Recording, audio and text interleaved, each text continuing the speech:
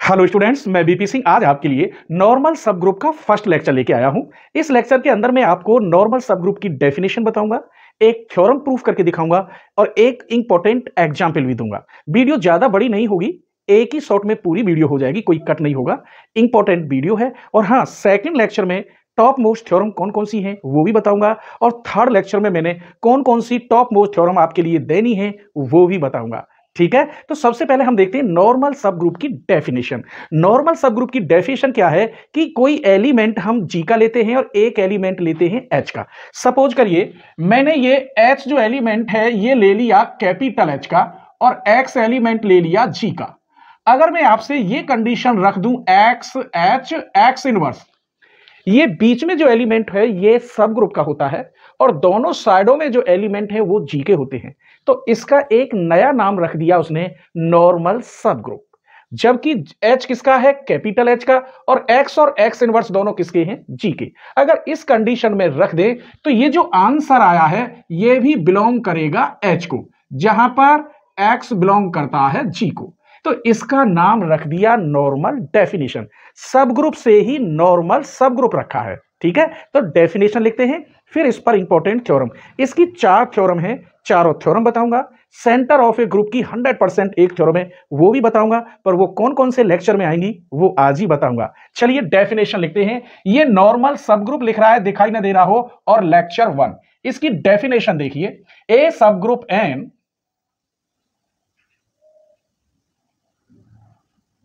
sub group N यहाँ मैं N से डिनोटेड करूँगा इसे सब ग्रुप को। Of a group group G is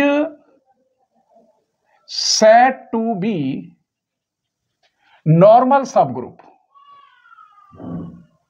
ये नॉर्मल लिख रही है नॉर्मल सब group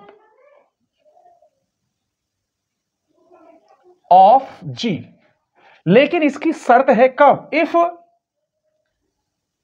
X N X inverse belong करेगा एन में। ये जो एलिमेंट है, जहाँ पर एक्स एलिमेंट होगा जी का और एन एलिमेंट होगा कैपिटल एन का। कोई खास डेफिनेशन नहीं है। एक लाइन में ही मैंने डेफिनेशन बना दी। दोबारा देख लीजिए मेरे बच्चों। A sub group N of a group G is set to be normal normal कहलाएगा। कब कहलाएगा नॉर्मल सब ग्रुप ऑफ़ जी इफ़ यदि जी का इधर एलिमेंट और उसका यहाँ इनवर्स और बीच में एलिमेंट हम रख दे सब ग्रुप का। तब ये नॉर्मल सब ग्रुप में बिलोंग करते हैं, जहाँ एक्स किसका है? जी का है और एन किसका है? कैपिटल एन का है। अब इस पर मैं आपको टॉप मोस्ट थ्योरम दे रहा हूँ one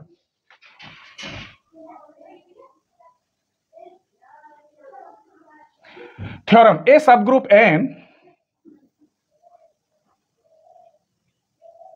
a sub group N of a group G is a normal sub group normal sub group if and only if जब क्वेश्चन में इफ़ एंड ओनली इफ़ आ जाए तो वहाँ पहले हम प्रूफ करते हैं फिर उसका उल्टा प्रूफ करते हैं, जिसे कन्वर्सली कहते हैं।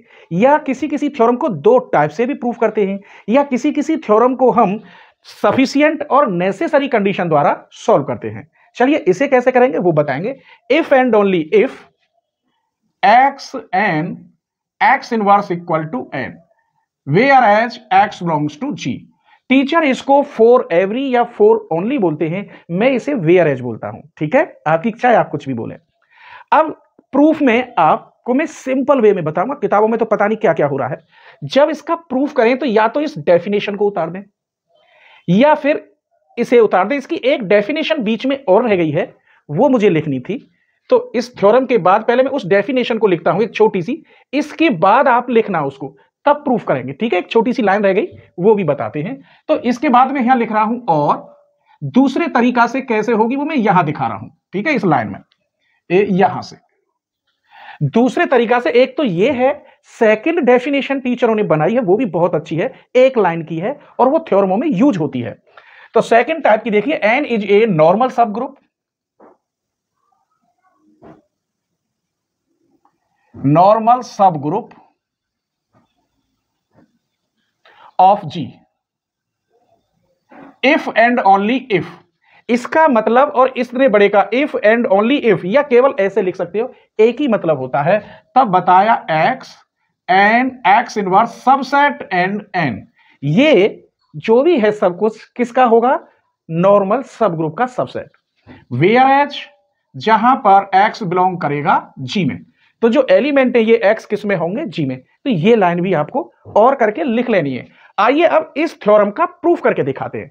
इसमें लिखा है इफ़ एंड ओनली इफ़ तो मेरे बच्चों, पहले मैं इसे प्रूफ करूँगा, फिर इसकी कन्वर्सली प्रूफ करूँगा। तब जाके ये कंप्लीट थ्योरम होगी। एक एक पॉइंट क्लियर करूँगा, ठीक है? चलिए proof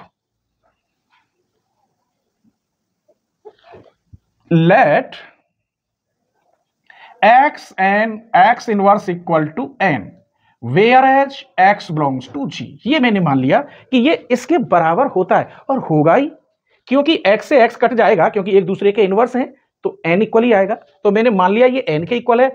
Whereas x? किसका एलिमेंट है? g का। तब 100 percent X N X inverse subset होगा n का, जहाँ पर x बिलोंग करेगा g में। जब ये इसके बराबर है तो ये एन का सबसेट भी होगा। क्लियर सबसेट होगा तो ये डेफिनेशन आ गई। ये वाली डेफिनेशन जो लिखी है, इसके पास लिखेंगे, इसे थ्योरम में नहीं लिखेंगे। तब मैं दावे के साथ कह सकता हूँ therefore N is a normal sub group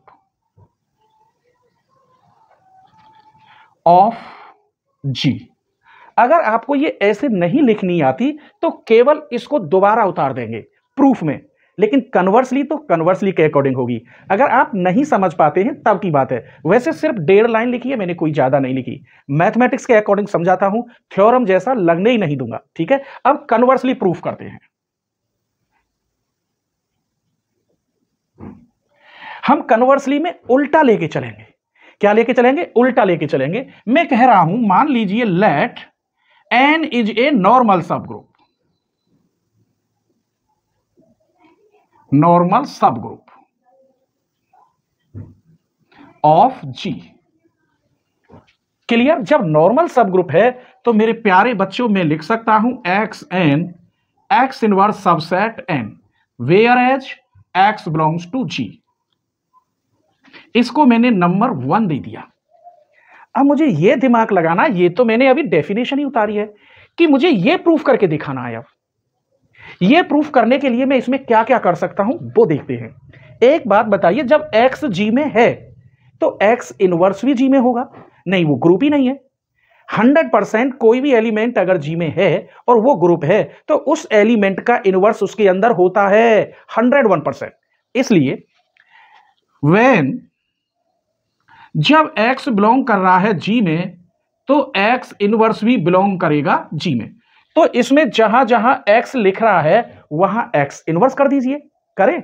तो इसकी जगह पे आएगा x इनवर्स एन इस x की जगह पे आएगा x इनवर्स और ऊपर वाला इनवर्स है। मैंने सिर्फ़ x की जगह पे लिखा इनवर्स ये रहा। सबसेट एन अब यहाँ लिखोगे x की जगह पर, x inverse belongs to g ये बात सही निकली। इसे सॉल्व कर लेते हैं। ये तो हमारा आया एक्स इनवर्स ये कट गया इनवर्स से इनवर्स तो केवल एक्स रह जाता है। पता है ना? One upon one upon two वो टू हो जाएगा, ऐसे ये है। और ये सबसेट होगा एन का, जहाँ पर X inverse belongs to G अब मुझे क्या करना है? मैंने इतना कर लिया, लेकिन अगर मैं इसका उल्टा प्रूफ कर दूँ, ऐसे N subset X N X inverse ऐसे कर दूँ। तो हम ये जानते हैं मेरे बच्चों A subset B B subset A तो इक्वल बी होता है। अब मुझे ऐसा बनाना है। ऐसा बनाने के लिए यहाँ मैं क्या कर सकता हूँ? वो देखिए। मैं यहाँ मल्टीप्लाई कर रहा हूँ एक्स की। X inverse N X bracket और इधर कर रहा हूँ इनवर्स की। तो जैसे आपने इधर करी है, ऐसे ही आपको इधर करना होगा, दोनों तरफ़ कर सकते हैं। ऐसा रूल नहीं है कि एक ही तरफ़ करें। करना होगा तो दोनों तरफ़। तो यहाँ मैंने एक्स की की तो यहाँ हो गया एक्स एन और यहाँ एक्स इनवर्स की करी तो यहाँ एक्स इनवर्स कोई परेशानी नहीं। इधर एक्स की कर दी लेफ़्ट की तरफ़ और राइट की तरफ़ एक्स इनवर्स अब इसको आप खोलिए तो ये हो गया X X inverse N X X inverse subset X N X inverse आपको पता है ये वन हो गया आइडेंटी ये भी आइडेंटी सिर्फ़ बचा एन और ये सबसेट होगा एक्स एन एक्स इनवर्स जहाँ पर एक्स बिलोंग्स टू जी ये नंबर दे दिया मैंने टू अब हमने क्या देखा मेरे बच्चों? फ़र्स्ट एंड सेकंड से। देखो, ये सबसेट एन का है। इसका उल्टा यहाँ लिख रहा है। एन सबसेट इसका। कहने का मतलब आपने टेंथ या ट्वेल्थ में पढ़ा होगा A subset B B subset A तो hundred percent A equal to B तब मैं क्या लिख सकता हूँ? बाई फ़र्स्ट एंड सेकंड से, ये कहा है? फ़र्स्ट ये रहा सेकंड ये रहा। X N X inverse equal to होगा एन के, जहाँ पर एक्स बिलोंग्स टू जी ये मैंने प्रूफ कर दिया। तो इसमें आपको कोई लाइन गैप नहीं करनी, सब कुछ लिखना होगा।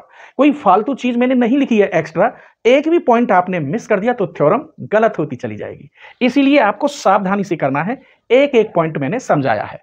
फिर देख लीजिए, इसको आप चाहें तो ज्यो की त्यों उतार सकते हैं इस लाइन को। इस प्रूफ को करने के लिए यहाँ सबसेट दिखाना है। अब दिमाग में लाना है कि इक्वल कैसे लाएँ तो इसका उल्टा मुझे बनाना चाहिए ये वाला। और ये वाला कैसे कैसे बनेगा, वो सब मैंने आपको दिखाया है। उम्मीद करता हूँ ये थ्योरम आपको पसंद आई होगी। अभी एक थ्योरम और दे रहा हूँ। नेक्स्ट लेक्चर में टॉप मोस्ट थ्योरम होंगी। उससे नेक्स्ट लेक्चर में टॉप मोस्ट थ्योरम होंगी, वो आज ही बता रहा हूँ। लेकिन वो जब भी मिलती हैं सारे लेक्चर कि जब आप चैनल की मेंबरशिप ले लें। आप सोचते हैं तीन सौ निन्यानवे रुपये कोई बड़ी बात नहीं है। आप ऑफलाइन में दो हज़ार रुपये देते हैं, एक बुक के मैं लेता हूँ। लेकिन मैं उन लोगों की हेल्प करता हूँ कि जहाँ कोचिंग नहीं है, जहाँ परेशानी है, और मुझे ये भी पता है कि मैं हर डाउट क्लियर करता हूँ। ऐसी कोई पॉइंट नहीं है, किसी भी थ्योर में जो मैंने क्लियर ना किया हो। तो आज ही ले लीजिए, अब दो से ढाई महीने बचे एग्ज़ाम में, और फिर पछताने के सिवा कुछ नहीं रहता। आदत है कि मॉडल पेपर से, मॉडल पेपर में पढ़ाएगा कौन? कौन बताएगा आपको कि इंपॉर्टेंट थ्योरम है? कोई यूट्यूबर नहीं बताता। मैं इसलिए बताता हूँ कि मैं फ़ीस लेता हूँ। मेरे चैनल पर मेंबरशिप ज्वाइन करोगे, तभी वो इंपॉर्टेंट थ्योरम आपको मिलेंगी। कोई भी यूट्यूबर दस पंद्रह वीडियो देता है सिंपल सिंपल थ्योरम बस। बाकी कोई नहीं देता। मैं सत्तर वीडियो दे रहा हूँ एक बुक में। इसका मतलब हर टॉपिक दे रहा हूँ। तो चैनल की मेंबरशिप ले लीजिए। ज्वाइन पर क्लिक करें। फुल कोर्स बीएससी एमएससी वाला लेवल लें। बस आप जिस ऐप से लेंगे, जिस ऐप से पेमेंट जमा करेंगे, उस ऐप का यूपीआईडी नंबर लिखना पड़ता है, जो उसी में होता है। और यूट्यूब जो आपने जिस जीमेल आईडी से यूट्यूब बनाया है ना वो जीमेल आईडी का पासवर्ड आपको ज़रूर मालूम होना चाहिए। अगर पासवर्ड मालूम नहीं है तो फिर हम मेंबरशिप नहीं ले सकते। चलिए नेक्स्ट थ्योरम देखते हैं। नेक्स्ट थ्योरम भी इंपॉर्टेंट है। Prove that every sub group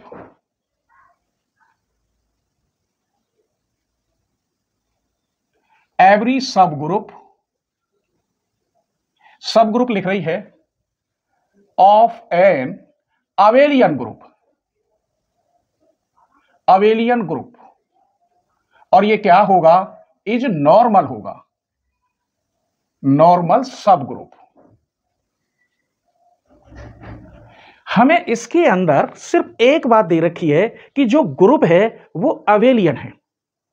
सिर्फ़ क्या है अवेलियन दूसरी बात यह ध्यान रखना है ग्रुप के अंदर जो एलिमेंट आप लेते हैं, उसका इनवर्स भी उसके अंदर होता है। बस इसी से प्रूफ कर दूँगा। चलिए proof let H be a sub group of an abelian group G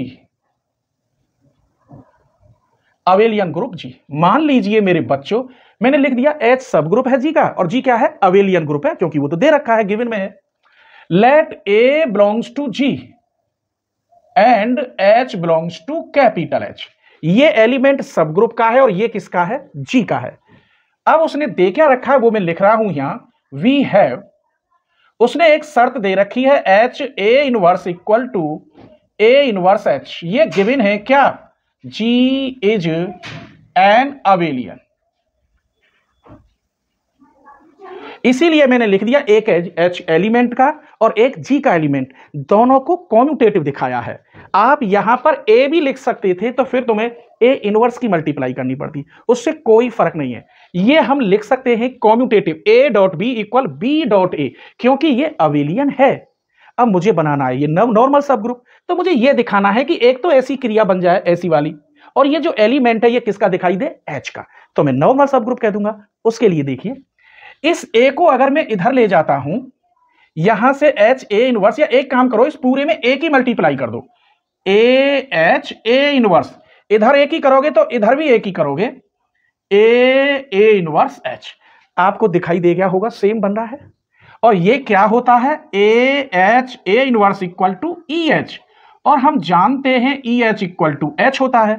तो A H A inverse equal to H clear हम ये भी जानते हैं जो एच है वो किसमें बिलोंग करता है? कैपिटल एच में। इसका मतलब A H A inverse belongs to capital H जहाँ पर स्मॉल एच किसका है? एच का, और ए किसका है? जी का। क्लियर हो गया ना? फिर देख लीजिए, इसको लेके चले। एक ही दोनों तरफ़ मल्टीप्लाई ये मुझे बनाना था। यहाँ ई एच ये एच होता है। जब ये वैल्यू एच की और एच इसमें है तो ये किसमें बिलोंग करेगा? कैपिटल एच में। जब एच बिलोंग करे कैपिटल एच और ए बिलोंग करेगा। जी में। इसका मतलब यहाँ एच क्या है? नॉर्मल सब ग्रुप है। तो इसका मतलब ये हुआ H is a normal sub group of an abelian group G तो मेरे प्यारे बच्चों, आज की वीडियो कैसी लगी? प्लीज़ एक प्यारा सा कमेंट करना। और हाँ लेक्चर टू में जो टॉप मोस्ट थ्योरम है, वो कौन कौन सी है, वो बता रहा हूँ अभी। लेक्चर थ्री में जो मैं देने वाला हूँ टॉप मोस्ट थ्योरम वो भी आप देखते जाइए स्क्रीन शॉट ले लीजिए। तो अब मैं आपको वो थ्योरम बता रहा हूँ कि जिनमें दावे के साथ एक एग्ज़ाम में आएगी हंड्रेड परसेंट मुझे ट्वेंटी टू ईयर का एक्सपीरियंस है। हंड्रेड परसेंट एक एग्ज़ाम में अगर आ गई तो आपके तीन सौ निन्यानवे रुपये वसूल। तो वो कौन कौन सी थ्योरम है? वो देखिए।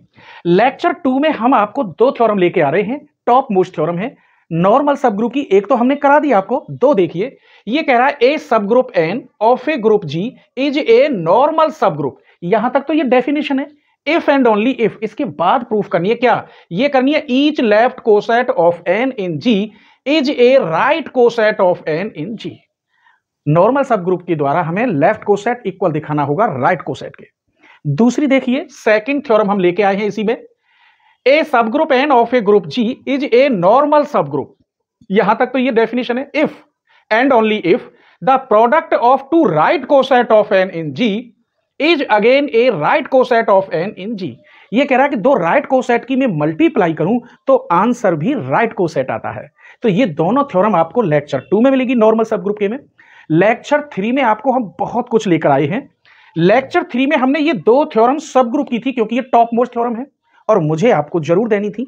तो सब ग्रुप की है द यू ये वाली थ्योरम लेक्चर थ्री में the intersection of two sub group is again a sub group ये सब ग्रुप की थ्योरम है नंबर वन पर आती है ये, हर साल एग्ज़ाम में आती है।